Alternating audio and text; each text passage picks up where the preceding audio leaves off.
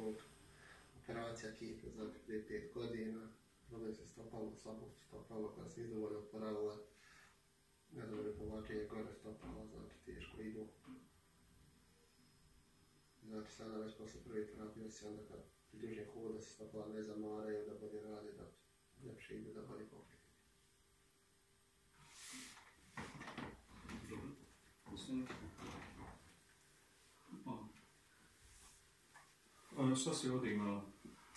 Operacija kičme, znači hernije. Ovak diska.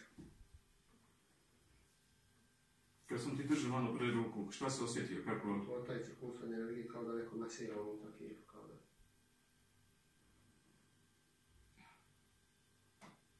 Je sad lakše mnogo? Da, Kad si došao kući, jel si, kad, si, kad si spavao, kako si, kako si? puno bolje, znači bez buđenja, bez ničega.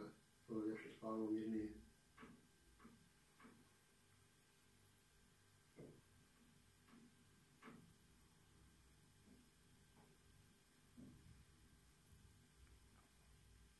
Gdje si ti mene našao, Zorane? Na internetu, na internetu. Aha. Aha. Na, na, na internetu, ja? Da, Gdje si sad, e, mislim, jesam opravdao svoje ime. naravno.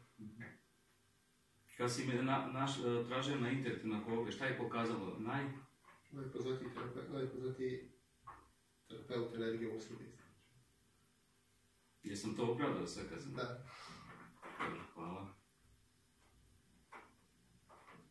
Ćeš da me zagrliš, jel? naravno, je.